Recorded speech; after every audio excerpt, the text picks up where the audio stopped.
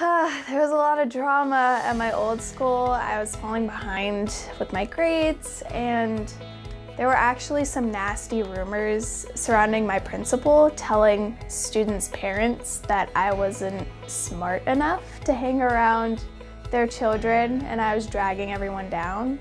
I wasn't getting the support that I needed or wanted at that school, so my mom made the decision to pull me out and send me here. It was weird at first.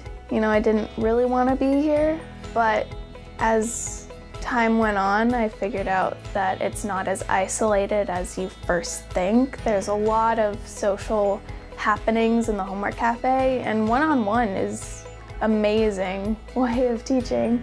Makes everything easier to understand, makes schoolwork a lot easier and more fun. You get a personal relationship with students and teachers. I think it's cool that we have such a small campus and the students that you do meet you get very close with. It's a dynamic system as you can imagine when you have a room full of teenagers and one of our top priorities is that that's a safe space. They feel safe with each other and they've been taught that they can make mistakes in front of people and it's okay. I've always believed that teenagers need a lot more than just their parents to make it through and be well-adjusted adults and it's neat to be in a building full of people who also believe that and who want to work with students in a way that helps prepare, for, prepare them for adulthood. And you know, we have a student body who have been through a lot of things, and so they oftentimes need a little bit more TLC. I had a pretty tough life experience last year, and it really did a number on me emotionally. And I was able to go to my teachers and say, hey, I'm having a hard time, I just could not focus.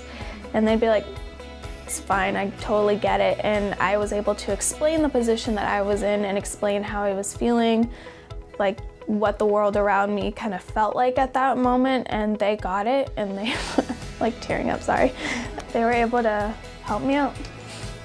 And it's um, really been inspiring to be able to work with students academically, but also to try to meet the other important needs that they have and to see that the two can go hand in hand and really being able to help students understand that, that we can get them through this class and, and I don't know, that they are worth the effort of, of learning and all the things that we put into them. Like so often they come to us not feeling like they're worth very much and I think they leave with a sense that there were a group of people who thought I was worth some effort and they, they put that effort into me and look what I was able to accomplish. It feels really good.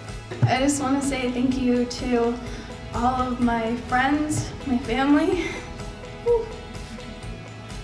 And I'll keep it short, so I'll end with a poem. Roses are red, violets are blue. I'm done with high school, so are you.